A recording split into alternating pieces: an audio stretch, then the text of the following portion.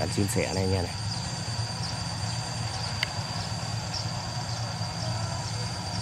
Cuốn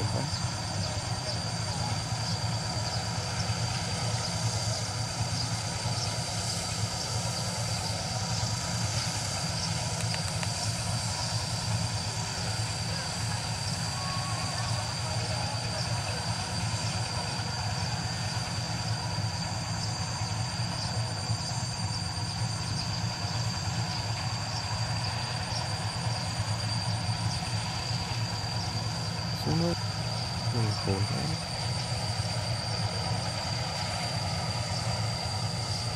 vẫn còn đông lắm nhưng mà nó lại cứ chạy đằng sau kia anh em kìa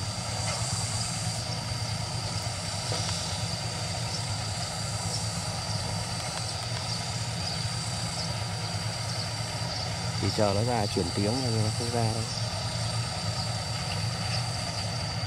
Chuyển chậm lắm. Chạy hết rồi bên trong chim đợt này đánh bị bể nhiều quá.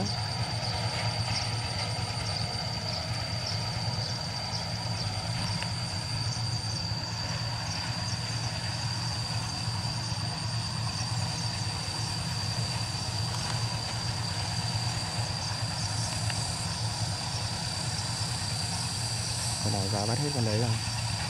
Đây còn hai con đang truyền nữa này. À, bên đây thì còn đông lắm chỗ góc này anh em này. Đấy, nó còn tầm khoảng hai chục nữa nó không ra chạy hết bên trong kia.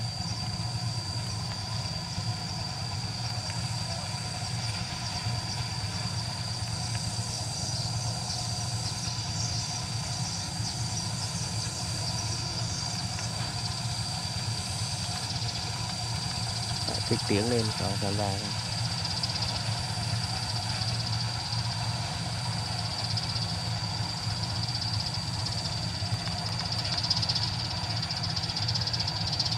Thôi. không thì sung lắm chim hết sung ra hồn thật.